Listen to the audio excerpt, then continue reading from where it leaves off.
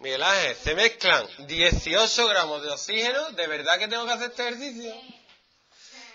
Y 2 gramos de hidrógeno.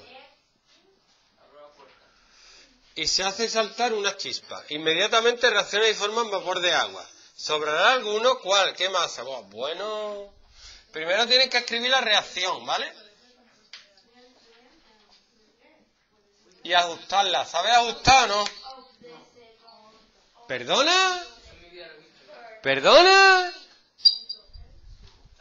Ajustar es que haya el mismo número de átomos aquí que aquí.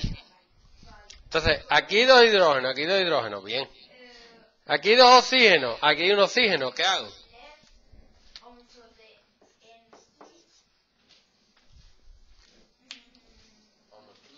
¿Que no qué?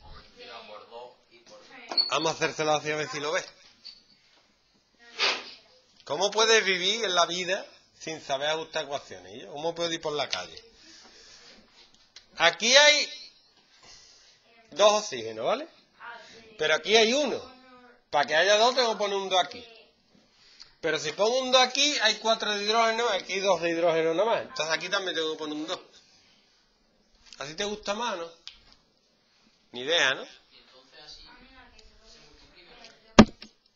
Así ya está, así aquí hay cuatro átomos de hidrógeno y dos de oxígeno, y aquí hay dos por dos, cuatro de hidrógeno y dos de oxígeno. ¿Vale? Eso se llama ajustar. Y ahora te digo yo lo que yo hago.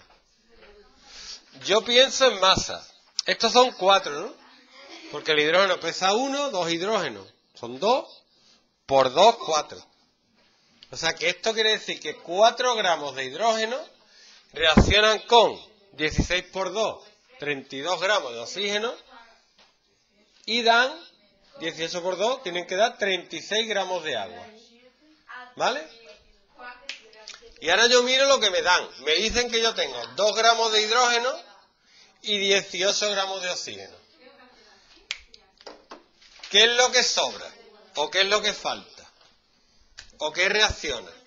Si, si 4 gramos de hidrógeno reaccionan con 32 gramos de oxígeno, con 2 gramos de hidrógeno reaccionarían con 16 gramos de oxígeno.